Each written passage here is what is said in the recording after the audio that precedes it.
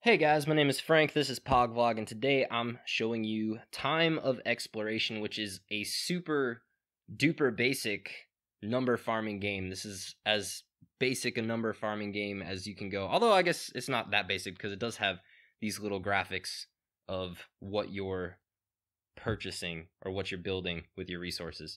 So basically, you have three panels here. I have the buildings panel, which right now I have 100% of the buildings unlocked you don't start out that way. You start out with simply a headquarters, and I think you can get a tree feller, and then you can draw logical lines to what you can build next. So you get a tree feller, then you get a sawmill and a stone cutter, and after you have those things, you can build stuff like a house, bigger house. Um, then you build storage, which allows you to collect more resources, and so on. And you just keep collecting um, new resources, and that allows you to build new things, which allows you to collect new resources you can view those resources over here in your resources panel. So in my little virtual village or city or whatever it is at this point, I'm not really sure, I can view my resources and I have 2.7 thousand settlers, I guess. Or no, actually I have 4.2 thousand settlers and I'm maxed out because I've reached my my city population capacity, which is apparently 4.2 thousand settlers. Um, I'm not sure what the rate is for increasing your your um resources here, but these green numbers with the plus next to them, that's how many units of resource you're getting per iteration of the game logic. So I don't know if it's seconds or minutes. Every couple of seconds, I think I'm getting plus 2.7 settlers. Or for instance, for my food, I'm getting plus 10 food every so many seconds or whatever. And eventually it'll reach that 3.5 million capacity unless I come over here and build something like a small, medium, or big storage building. So let's just look over here. Check out my fish. I got 3.5 million fish. If I'm going to build a big storage unit, um, it's going to change my storage capacity. And now I can get 3.6 million fish. So it's kind of ridiculous. It's, if you like number farming games, this is cool, but if you don't, then you're probably like, what the heck is this? This is just super boring looking.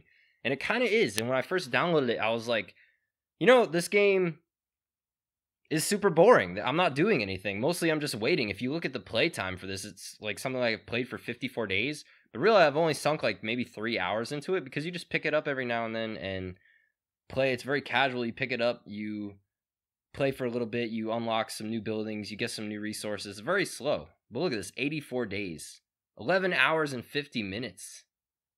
Now, is that my actual playtime? 11 hours and 50 minutes? Because that's that's actually kind of depressing. That's like half a day of my life. That's actually pretty sad.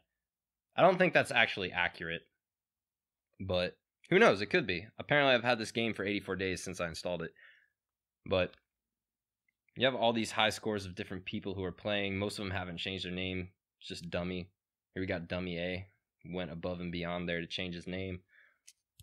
But at first, I downloaded this game just simply because it was a super small download size, no special permissions in the Play Store, just a free game. And I downloaded it, and I was like, you know, it's not that bad. I'll keep it around. And it was an interesting play. You can click on these little icons here and it will tell you what you need in order to build something. Um, and just this this breakdown right here is what it gives you. It gives you the little image up there. Someone put a lot of time into this clearly. Um, I'm not sure if this does anything. If you click here, tells you about your capacity of that specific resource.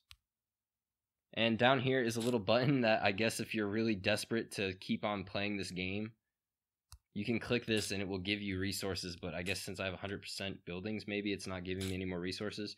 But usually it gives you like you know like five bread or three logs or something so ridiculously useless that it's just like uh it can help you in the beginning of the game to get started i guess but but anyway this is time of exploration just a really simple number farming game i kind of enjoyed. Thought i'd throw it out there for people to see because it's not likely you're going to stumble across this. I'm sure this game isn't exactly being lauded out there on the internet. People aren't really probably telling other people to go download this game. So If you like number farming games, this is a good one. I'll put a link to the download in the description. Anyway, guys, thanks for watching.